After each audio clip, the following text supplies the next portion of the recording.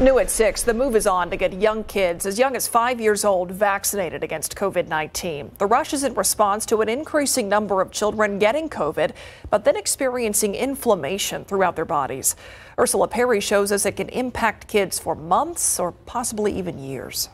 My head started hurting and my stomach started hurting. He woke up in the middle of the night that night and was wheezing. Jackson was suffering from an after effect of COVID in kids called multisystem inflammatory syndrome, or MIS-C for short. I see kids with MIS-C.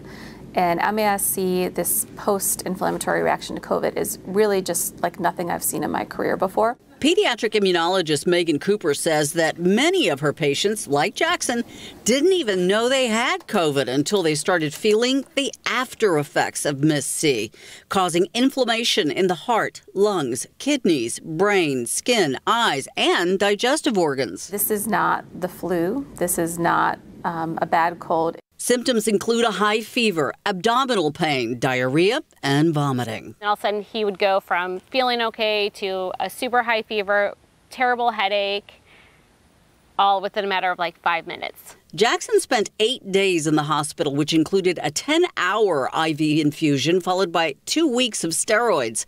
Jackson's feeling better. Dr. Cooper says the best way to avoid MIS-C is to avoid getting COVID.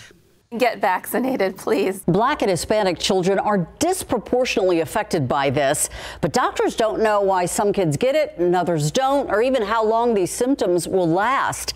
Usually, a child will develop symptoms two to four weeks after they have COVID or were around someone who did. Ursula Perry, KSAT 12 News.